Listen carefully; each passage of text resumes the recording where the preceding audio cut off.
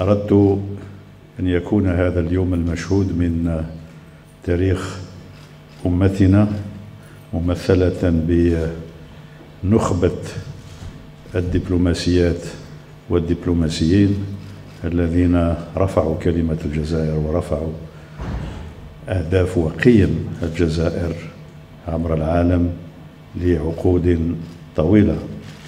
أردت أن تكون المناسبة بين أيدي السابقين واللاحقين من الدبلوماسيين على أن يبقى جيلنا في مكانة الوسيط الذي يقدم يأخذ المشعل من الأسلاف ويقدمها للأجيال القادمة.